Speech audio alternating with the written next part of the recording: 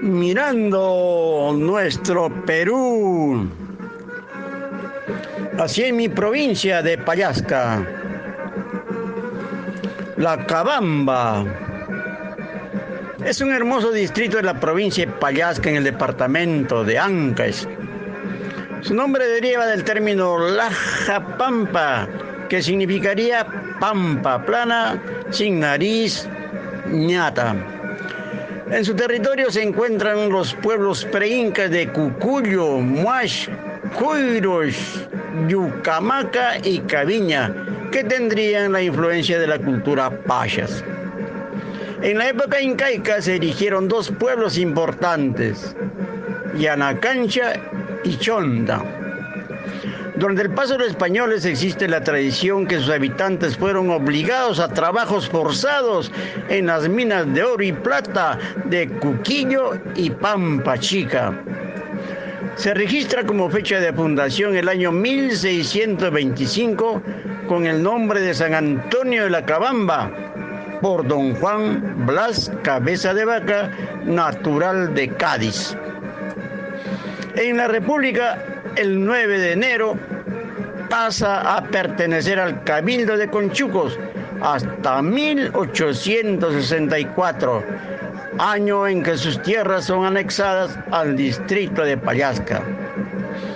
Durante el gobierno del presidente Manuel Prado Ugarteche, la Cabamba se crea como distrito por la ley número 9619 del 3 de octubre de 1942.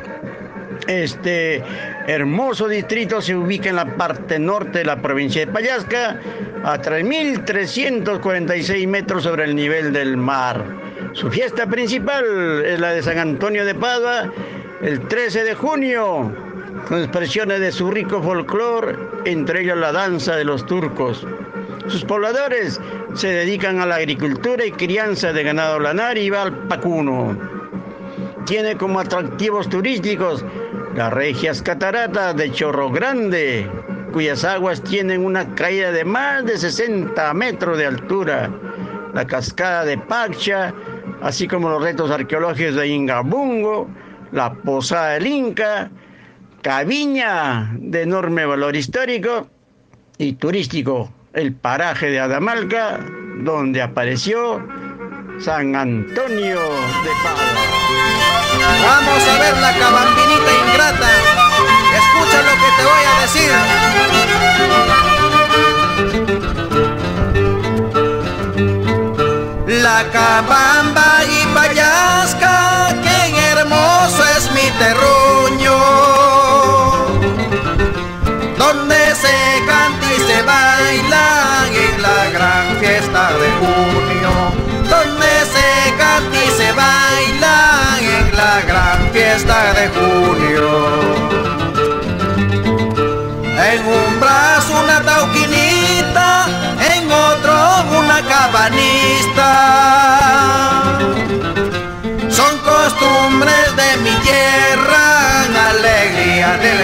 Son costumbres de mi tierra, alegría del corazón.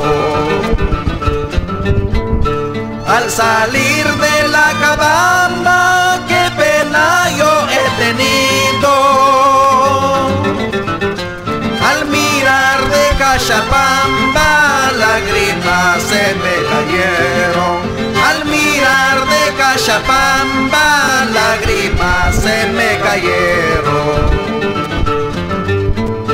Después de llorar tanto, me levanté con fervor. Al pasar por Chorro Grande, me acordé de mi lacachita.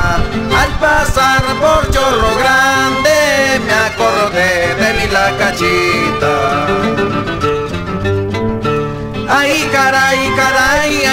a mi bachora y Yuyuguay. Ay caray, caray, la cabambe su Paraguay. Ay caray, caray, qué lindo es cantar y bailar.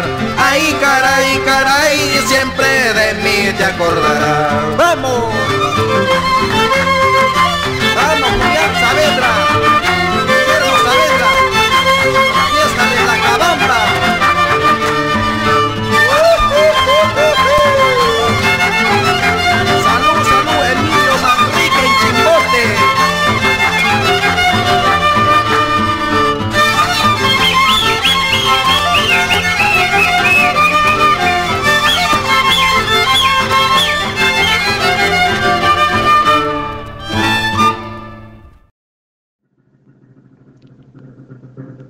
Mirando nuestro Perú, la Cabamba, tierra de los turcos.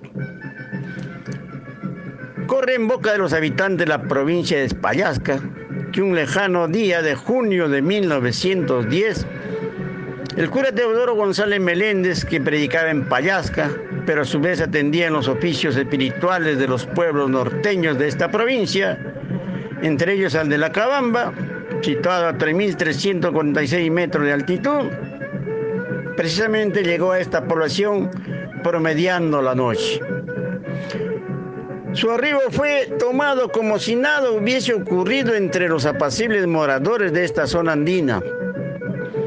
Ya agotado de calvar en su asémila, el referido sacerdote se dispuso a descansar en la casa parroquial. Muy temprano, el recordado fraile ordenó repicar las campanas para celebrar la Santa Misa. Ni corto ni perezoso, el sacristán del pueblo cumplió con el encargo.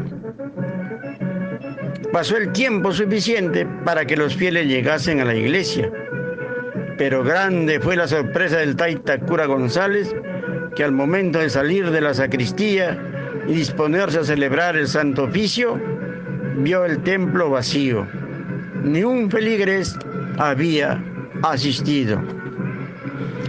Entonces, en una actitud de asombro, con un tono irónico y sentencioso, le dijo al sacristán que era el único que lo acompañaba. En este pueblo todos se parecen turcos. En otras palabras, le quiso explicar que son enemigos de escuchar la prédica del sacerdote y las enseñanzas de Cristo Redentor como los turcos de la historia. Desde aquella revista y sentencia ha ocurrido mucho tiempo y todos los payasquinos atestiguan que a los lacabambinos se les llama turcos por la actitud antes referida. Para desagraviar este comportamiento y sentencia del cura Teodoro González Meléndez, los habitantes del distrito de La Cabamba han puesto bajo su protección a San Antonio de Padua, convirtiéndose en su santo pastor. Según la tradición, San Antonio era atado de pies y manos por los nativos y pernoctaba en Adamalca, pero al siguiente día amanecía sin los grilletes en lo que hoy es el pueblo de La Cabamba. Allí sus hijos le han edificado su iglesia y se apresta a conmemorar su fiesta patronal, cuya fecha central es precisamente el 13 de junio. En ella, los lacabambinos ponen de manifiesto su variado y rico folclor, destacando la clásica danza de los turcos, siendo esta otra de las razones por las cuales los habitantes de este distrito payasquino tienen el apelativo de turcos. Tu amigo Enrique Vázquez y